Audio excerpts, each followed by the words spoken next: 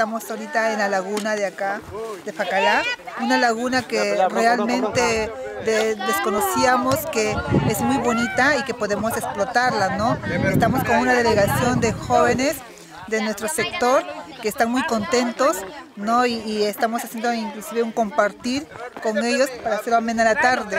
También contamos con la presencia del doctor Ítalo, este, que ha venido de una manera muy particular por acá, ¿no? A visitarnos y le hemos hecho la acogida acá en la laguna para que también pueda ser testigo de que de una u otra manera tenemos también una laguna para explotar, nosotros como facalaneros que somos, no solamente una fortaleza que ya la conocemos, ¿no? también una laguna y posteriormente iremos conociendo otros sectores más por explotar, ¿no?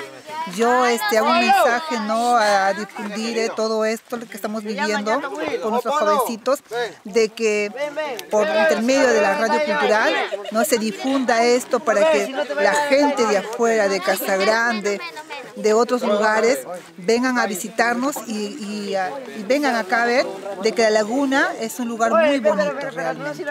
Sí, justamente, pero tenemos acá también acompañado de padres de familia también, ¿no? Claro, estamos con la, como les vuelvo a repetir, con una delegación de jovencitos del sector, una, este, un grupo de niños también que nos están acompañando, ¿no? Un grupo de madres de familia y padres de familia que también se han unido a esta caminata que de una u otra manera, gracias a Dios, ha salido muy bonita. Y esto nos va a servir para que los niños también sean este, comunicadores de lo que tienen en su sector como es Facalá. Ellos va a servir, y, insisto, ¿no?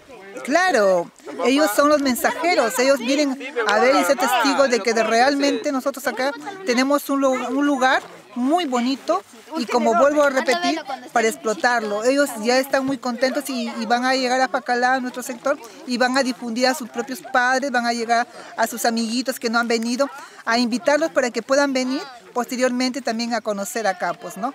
Yo, este recalco, hago la invitación a todo el público en general, a los vecinos de Castrande, especialmente, para que vengan a ver acá, ¿no? Que esta laguna es muy bella, muy bonita, y vengan a, visitarnos, pues. Perfecto. ¿Alguna palabra más de...? Agradecer a Radio Cultural, a su persona, señor Marcel, ¿no? Más que nada, al doctor Italo, que muy gentilmente también ha caminado con nosotros para llegar a este lugar, ¿no? Y, ser testigo de que de una u otra manera tenemos un lugar para explotar y que Facalá engrandezca cada día más y más, porque creo yo, así como tenemos la fortaleza, tenemos ahora una laguna que le vamos a dar más vida todavía ahora, vamos a conocer otros lugares más que también vamos a tratar de explotarlos, pues, ¿no? Y de esa manera, Facalá engrandecerlo, porque nosotros lo consideramos Facalá como un sector turístico y ahí estamos. Pues.